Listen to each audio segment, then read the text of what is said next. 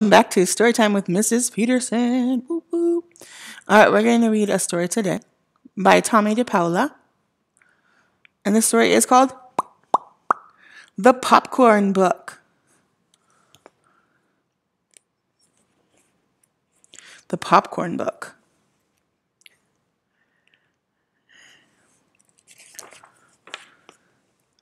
And now a word from our sponsor. Pop, pop, pop.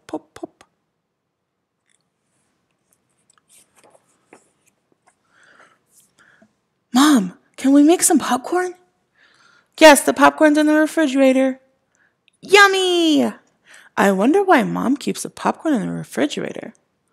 I don't know. I'll go look it up. Here it is. Popcorn is best stored in a tight jar in the refrigerator so the kernels keep their moisture. Boy, this is interesting. Listen. Popcorn is the oldest of the three main types of corn. There is field corn, which we feed to animals like cattle and pigs, sweet corn, which is the kind we eat, and popcorn. The indigenous people of the Americas discovered popcorn thousands of years ago. The Aztecs called popcorn momochitl and used it for food and decoration. The Lucayan people of present day San, Salvador ate and sold popcorn and used it as jewelry before they arrived in the 15th century. Spanish colonizers had never seen popcorn before. First, I heat up the pan. But popcorn is even older than that. In a bat cave in New Mexico, archaeologists found some popped corn that was 5,600 years old. Everybody say, wow, that's old. And a thousand year old popcorn kernels were found in Peru. They could still be popped. Now, the cooking oil. The indigenous peoples of the Americas had many different ways to pop popcorn. One way was to put an ear of corn on a stick and hold it over the fire. Oiling the cob could keep kernels attached, even when they popped. The hoe hunk, the Ho-Chunk, also known as the Winnebago, were particularly fond of oiled popcorn on the cob.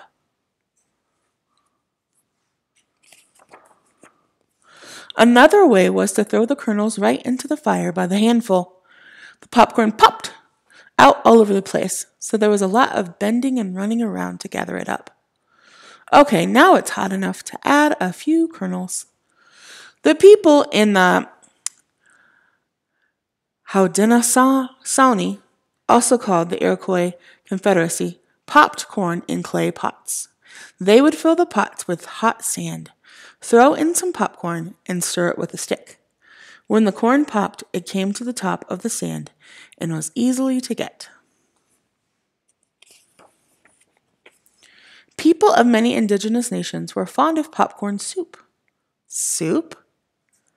The Algonquins introduced popcorn to English colonists. The colonists liked it so much that they served popped corn for breakfast with cream poured on it. Interesting. Today, Americans consume 14 billion quarts of popcorn annually. That's 43 quarts per person. 30% is eaten out at movies, ball games, mm, and county fairs. But 70% is popped right at home. Wow. So most of popcorn is popped at home. Oh, goody, the kernels are popping. That means the oil must be ready. People in the Midwest buy more popcorn than in any other part of the United States. Milwaukee and Minneapolis are the top popcorn eating cities, followed by Chicago and Seattle. Now I'll put more kernels in the pan and turn the heat up. I like how the cats are watching. Now here's the part I read first. Popcorn is best stored in a tight jar in the refrigerator so the kernels keep their moisture. If the kernels dry out, there will be too many old maids left at the bottom of the pan. Old maids are unpopped popcorn. It doesn't look like enough. If the popcorn does dry out, you can add one or two tablespoons of water to the jar and shake it until the water is absorbed. Shake, shake, shake. Uh oh, he's pouring in more. Wonder what's going to happen. Popcorn only pops because the heat of the kernel is moist and pulpy and surrounded by a hard starch shell. When the kernel is heated, the moisture turns to steam and the heart gets bigger until the shell bursts with a pop. Are you sure you didn't put too much popcorn in the pan? Of course not, silly. Do you think you put too much? Some people tell that tell the story that inside each kernel of popcorn lives a little man. When his house is heated, he gets so mad that he blows up. Oh, he's getting upset and that's a silly story. There are different kinds of popcorn. White hulless and yellow hulless are the ones most commonly store, sold in stores. The smallest type is called strawberry because it has red kernels, and the ears look like strawberries. Looks like this. Rainbow has red, white, yellow, and blue kernels, sometimes called calico. There is a black popcorn, too, but all of it pops white. The biggest kernels are called dynamite and snow puff. Shake, shake, shake. After popcorn is popped, most people like to put melted butter and salt on it. Or say yum. But if salt is put in the pan before the kernels are popped, it makes the popcorn tough. Shake, shake, shake, shake. Oh, he's shaking the pan a little bit. There are many stories about popcorn. One of the funniest and best known comes from America's Midwest. One summer, it was so hot and dry that all the popcorn in the fields began to pop. In no time, the sky was filled with flying popcorn. I wonder if that's true. Here's another one. It looked so much like a blizzard, everyone put on mittens and scarves and got out the snow shovels. Oh, that was the end of that story. Wow, I wonder if they really had to get snow shovels and it looked like snow. They could just eat the popcorn.